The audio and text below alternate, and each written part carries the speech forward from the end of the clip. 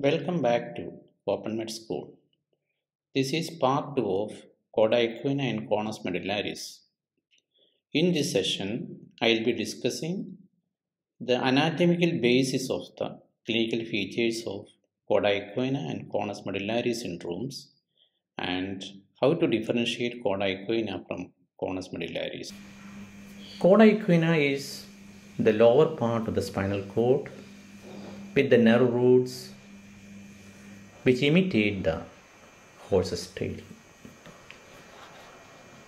The spinal cord ends at the lower border of L1 in majority of the adults. As the vertebrae has gone more than the spinal cord, the nerve roots have to travel down to pass through the intervertebral foramen. And these nerve roots looks like the tail of the horse and that is why it is called cauda equina. So this is a little more better view of the lower part of the spinal cord. So this is the lower end and the lower end of the spinal cord the pia mater goes down and it ends at uh, the coccyx and this is called the filum terminal. Remember filum terminal is not neural tissue, it is the pial extension. And here you can see the nerve roots hanging down in the dural sac. So this is the dura. So in the dural sac the nerve roots are there and that is represented here. So this is the from L2 downwards the nerve roots constitutes the cauda equina so from L2 down up to the coccyx so this constitutes there is sensory nerve roots are there there is motor roots are there. And remember these are parts of the peripheral nervous system. It is not part of the spinal cord. And the lower end of the spinal cord lies against the L1 vertebrae usually.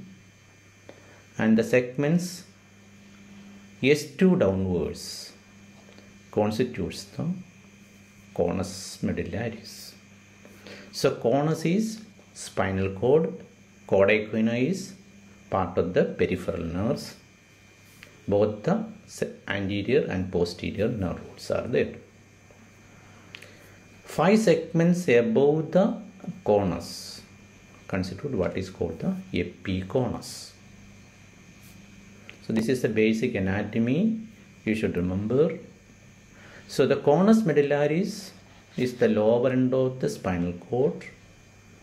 S2 down to coccyx 1.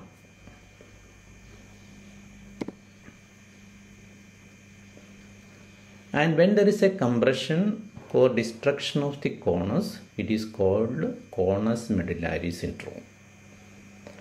When the roots are involved from L2 downwards with the bladder dysfunction, it is called cauda equina syndrome and many times there is an overlap between the conus and cauda lesions. That also should be kept in mind. I already mentioned what is epiconus. The segments above conus again it is part of the spinal cord. So here it is the roots are the equina the S2 downwards, the spinal cord is the conus and 5 segments above the conus is the epiconus. We'll repeat once more, cauda equina is L2 downwards. Conus medullaris is S2 downwards the lower spinal segments and the epiconus is 5 segments above that is L4 to S1 that is the epiconus. So epiconus and conus are spinal cord lesions. And the clinical manifestations depends upon which nerve roots are compressed or irritated. The findings are usually bilateral and radicular in nature because the roots are affected. As you know, the radicular pain is a shooting pain, electric shock like sensation running down in the distribution of the dermatomes, and usually it exaggerated on coughing and sneezing. That is the typical radicular pain. So, whichever root is irritated, you will get pain. And when the sensory nerve roots are affected, you will get a sensory loss. As you know, the perianal region is supplied by the S, S, S2, 4 segments. So, if that roots are affected, you get a perianal sensory loss. In conus lesion, as these are the spinal cord segments, constitute ST, S2, S3, S4, S5, the sensory loss is limited to the perianal region. But in case of a cauda equina syndrome, any nerve root from L2 can be affected. So the sensory distribution will be little more wider and depends upon which nerve roots are affected you get the sensory loss.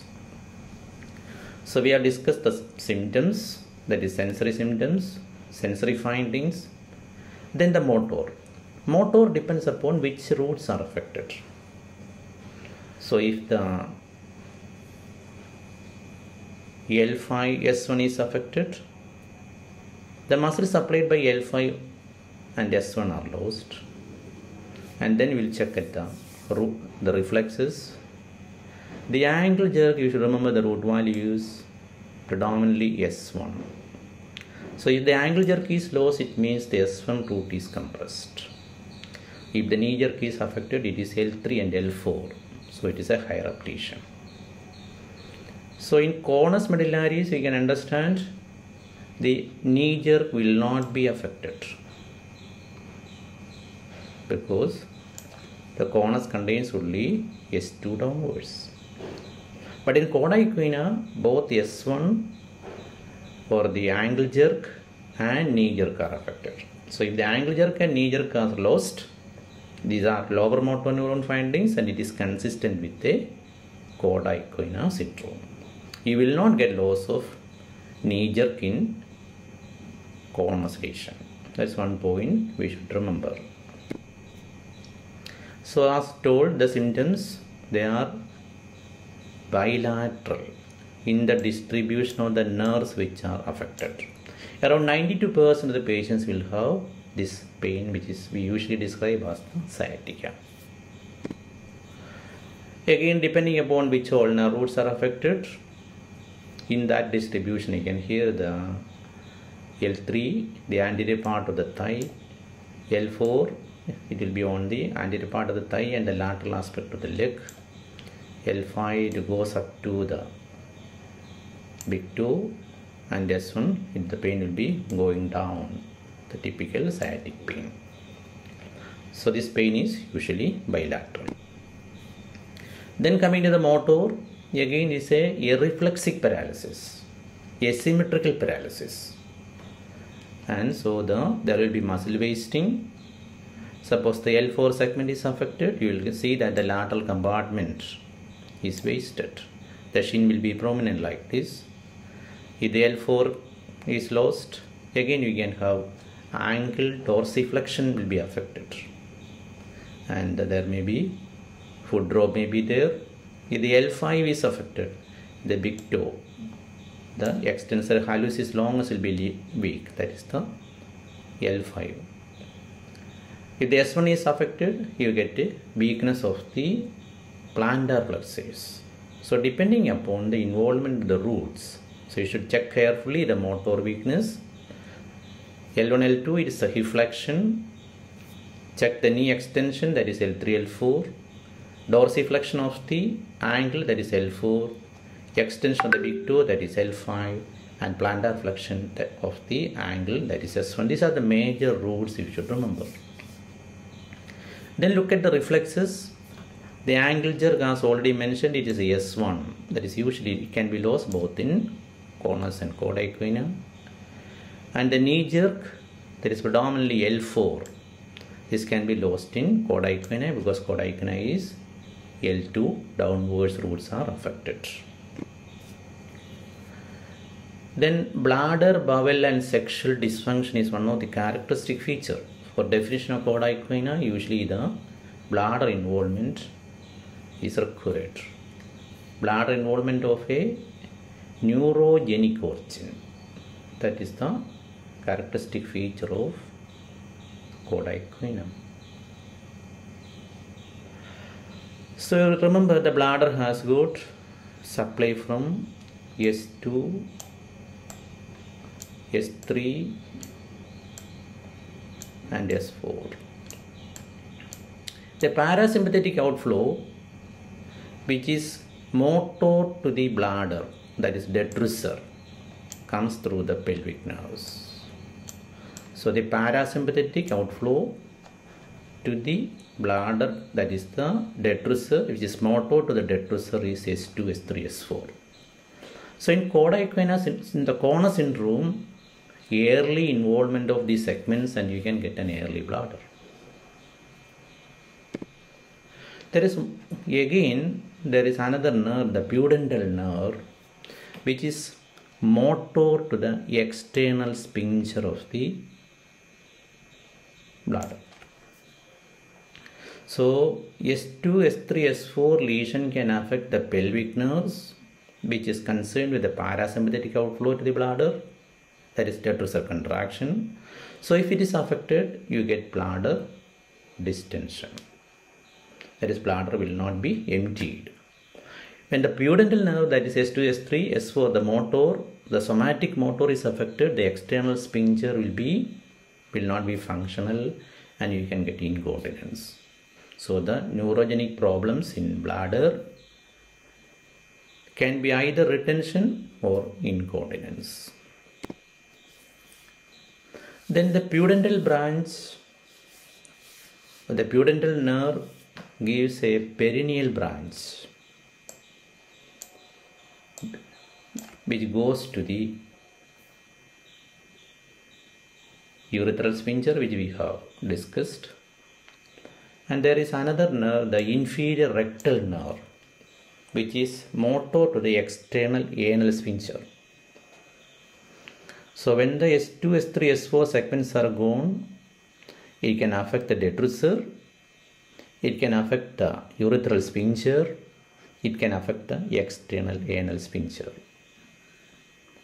So this is the S2, 3, 4, the pudendal nerve, which gives the inferior rectal nerve, that is motor to the external anal sphincter. It gives a perineal branch which supplies the urethral sphincter.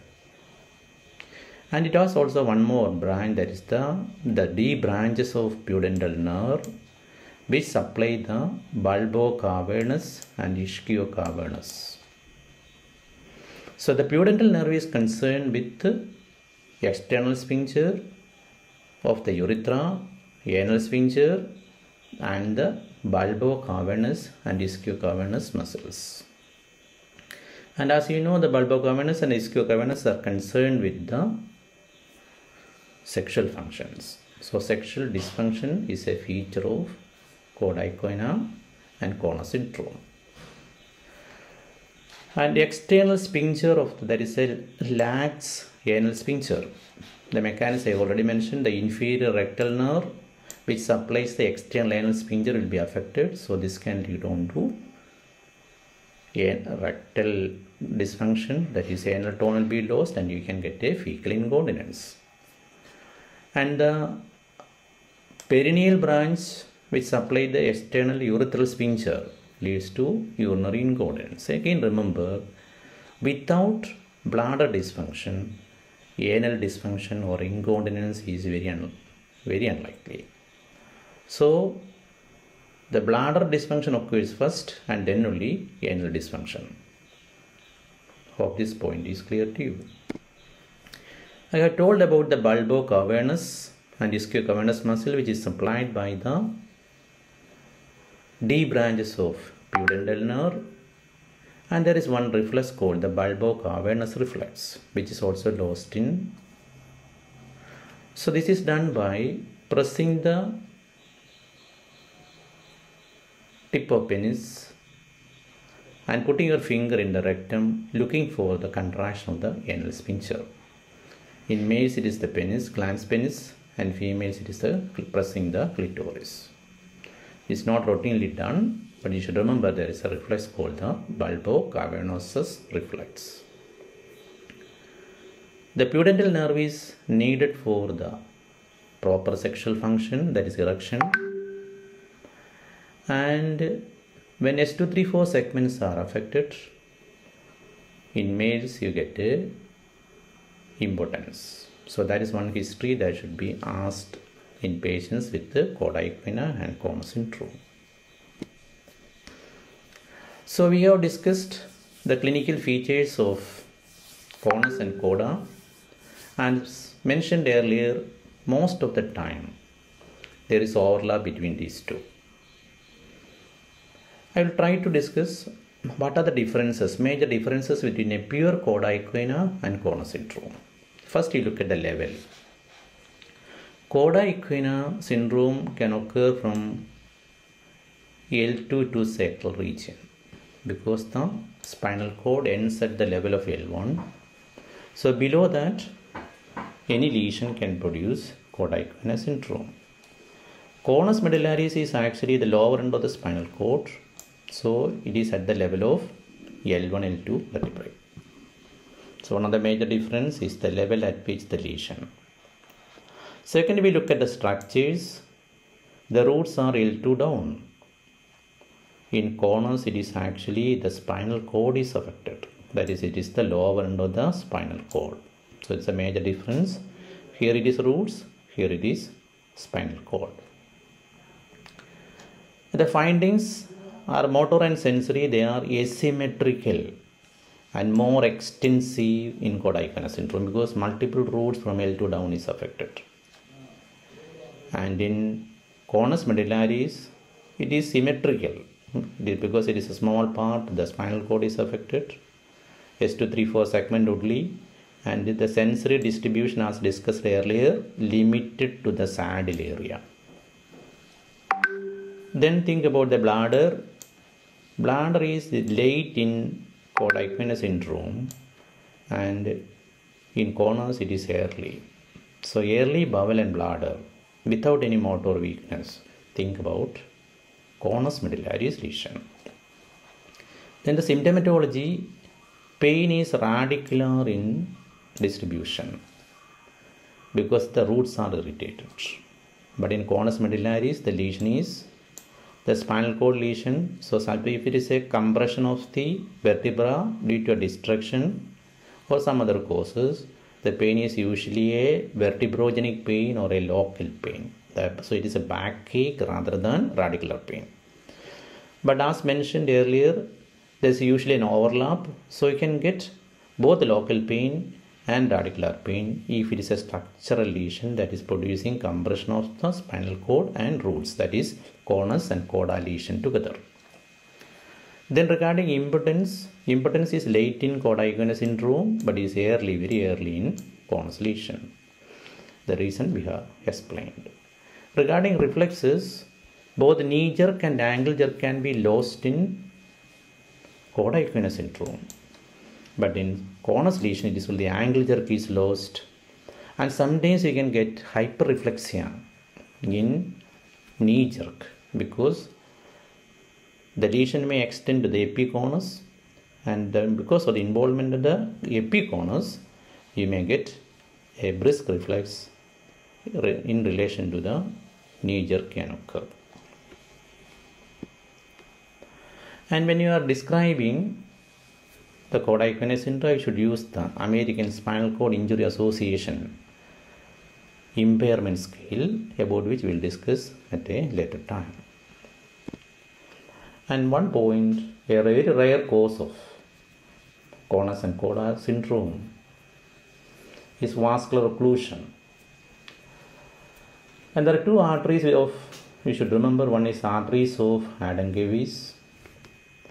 You can see the anterior spinal arteries being reinforced by radicular arteries that is arteries that is coming along with the roots. So one of the the lumbar radicular arteries may be very prominent and that artery is called the arteries of Adam. So involvement of the aortic, aorta that is aortic occlusion can lead on to decreased blood supply to the spinal cord because of the involvement of the artery of Adam. And there is another artery called Desbrock's Gotteron artery. This travels along as L5 S1 nerve root goes to the conus. It is again one of the radicular artery arising from iliolumbar artery. So there are two arteries, of which the more important one is the artery of Adamkiewicz. So vascular occlusions, ischemia to the spinal cord can also produce a conus lesion. So in this video we have discussed the anatomical aspects of cauda, equina and conus syndrome and epiconus. And we have discussed how the clinical features are arising, the management and the etiology was discussed in the previous video. Hope it was useful to you. If you like this, you may please subscribe to my channel. Thank you.